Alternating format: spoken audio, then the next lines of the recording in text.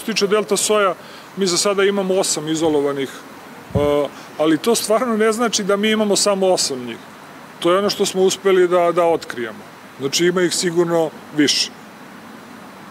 Ali, kažem vam da mi sad da jurimo delta soj, gama soj, apsolutno ne znači ništa. Mi ćemo imati, mi sad imamo ono što, što su činjenice, povećan broj ljudi na prvim pregledima, povećava se broj ljudi koji su za prijem za bolnicu i to je ono što nije dobro.